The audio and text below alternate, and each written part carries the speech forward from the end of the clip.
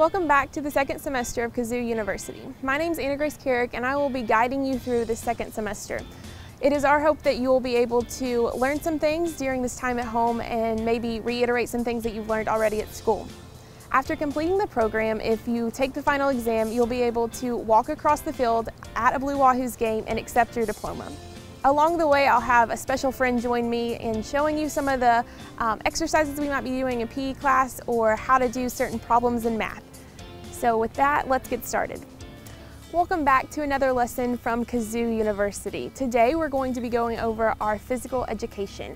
And what we're going to do for this time is Simon Says. So anytime I say Simon Says do 10 jumping jacks, Kazoo is going to do 10 jumping jacks. If I say run in place, he's not going to do it because I didn't say Simon Says. So let's begin. We're going to start at the warning track and make our way to the first baseline. So for our first one, Simon says three lunges. Nice. Good job, Kazoo. All right. Now, do 10 push-ups. No? Okay, good. Nice job. Simon says do three jumping jacks.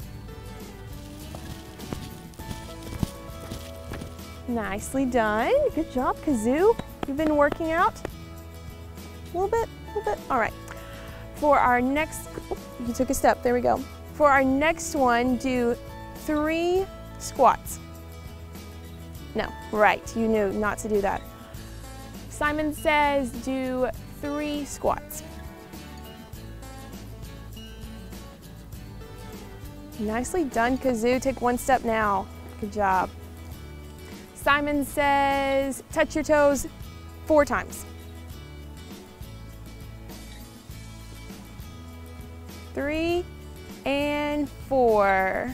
Now you get to take a step because you did it right. Take four steps back. Nice, Kazoo. Simon says to run in place for 10 seconds. One, two, three, four, five, six, seven, eight, nine, 10. Nicely done, Kazoo. You just made it to the first base line. And that's our PE lesson for today. Thank you for watching another episode of Kazoo University. Make sure to subscribe to our YouTube channel so you won't miss an episode.